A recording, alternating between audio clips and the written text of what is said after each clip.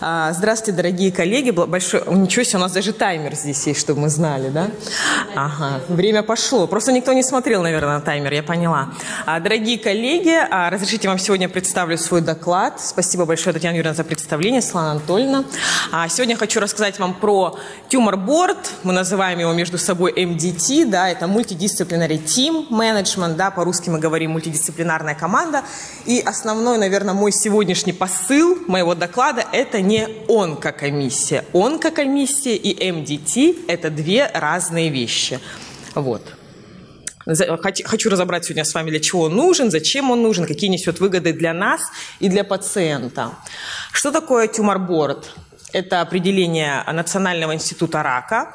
Это мультидисциплинарная команда специалистов здравоохранения в онкологии и смежных специальностей, целью существования которой является предоставление пациенту оптимальной тактики лечения и дальнейшего наблюдения. А, Тюморборд в настоящее время – это каждодневная рутинная практика ведущих центров США, Европы и некоторых российских клиник.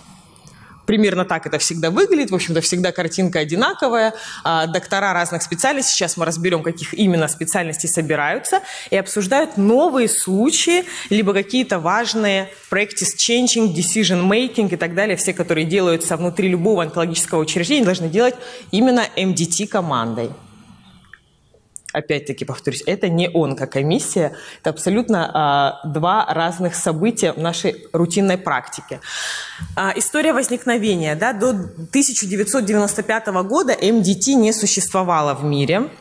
И в 1990, еще до 1995 года подход в лечение пациентов был примерно такой же, как и сейчас в большинстве онкологических учреждений у нас есть. Да? То есть нужна консультация лучевого терапевта, мы отправляем к лучевому терапевту, нам нужно патоморфологическое заключение, мы отправляем патоморфологу, и потом уже, когда пациент приходит к нам за тем или иным решением, мы смотрим заключение лучевого терапевта отдельно, мы смотрим заключение патоморфолога, но при этом, ну, скажем так, менее 10% специалистов позвонят и спросят, спросят у патоморфолога, что означают те или иные э, маркеры. Мы читаем, как правило, заключение, мы не читаем, э, и мы, к сожалению, не всегда знаем, как влияет тот или иной маркер на прогноз заболевания. Например, в частности, я не знаю, лимфомы, циклин D1. Вы прочтете в заключении, прочтете, что написано циклин D1. Ну, я думаю, что единицы знают, что это означает, и вряд ли э, каждый онколог позвонит своему патоморфологу и спросит, что это означает, хорошо это или плохо, нужна ли какая-то, возможно, интенсификация лечения или другой подход в лечении и так далее. То есть до 1995 года подход был именно такой от специалиста к специалисту, как это есть сейчас почти везде. Результатом этого всего был единственно, естественно, неудовлетворенные результаты лечения и низкая приверженность пациентов к лечению. Все изменилось в 1995 году. Первый тюмор-борд появился в Англии. После отчета Калман Хайн а, доктора выехали в ведущее учреждение Англии, посмотрели, что да, действительно, пациенты не удовлетворены своим лечением, а качество жизни пациентов низкое, показатели выживаемости низкие. Они выявили, что на самом деле какое может быть решение данной проблемы – это введение тюмор-борда МДТ мультидисциплинарной команды. С 1995 года а, в каждом учреждении Англии появился свой МДТ, который возглавлял специалист – ведущий специалист в той или иной нозологии, да, если речь идет о МДТ по раку легкого, это будет ведущий специалист данной, по данной нозологии в данном учреждении, да, ну, у нас, как правило, это заведующее отделение, да, ведущий специалист по нозологии, это заведующий отделением, руководитель отделения, профессор, научный консультант и так далее. Хирург-онколог, естественно, химиотерапевт, лучевой терапевт, патоморфолог, рентгенолог, ну и по возможности, я понимаю, что в наших российских реалиях это не всегда возможно, это врач паллиативной помощи.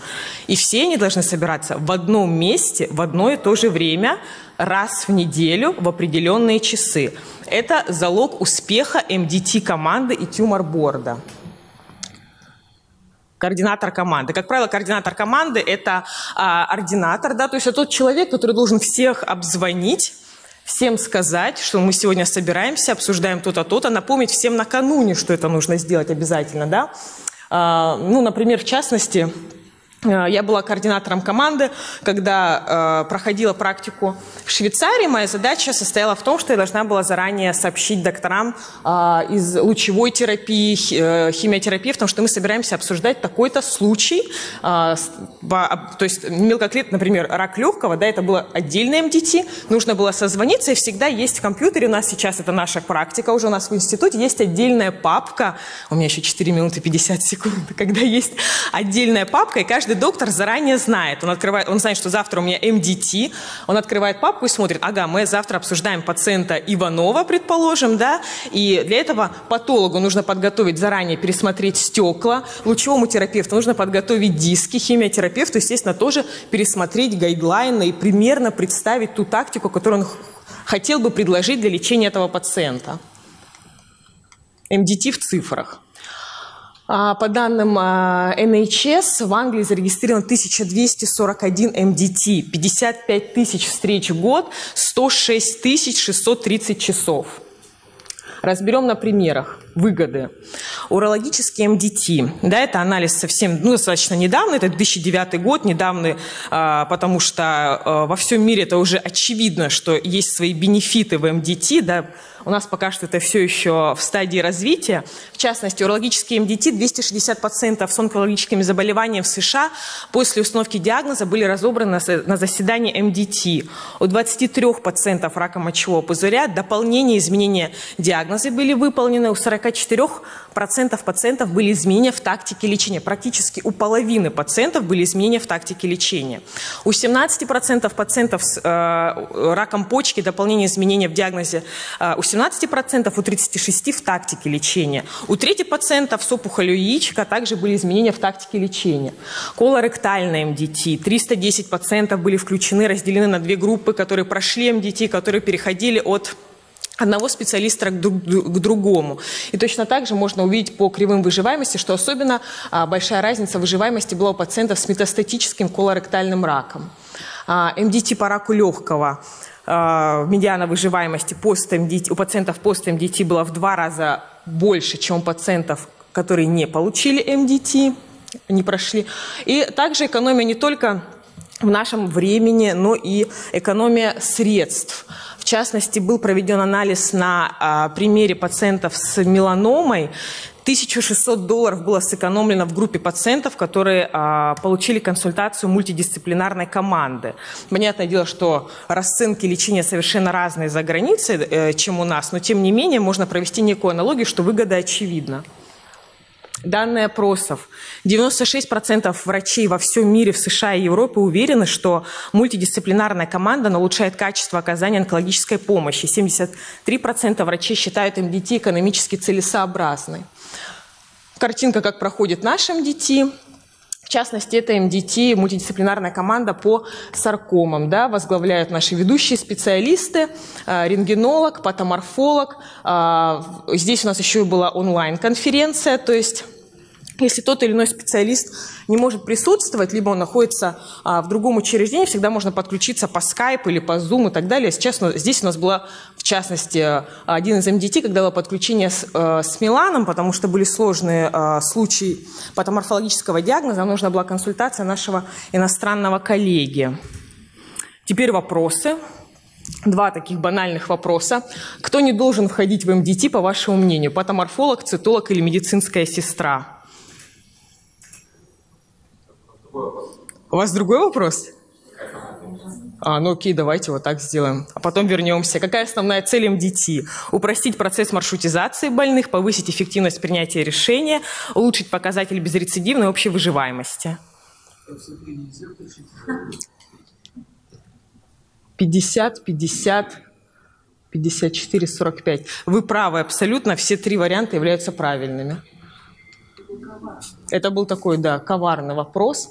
Теперь, кто не должен входить в МДТ? Патоморфолог, цитолог или медицинская сестра?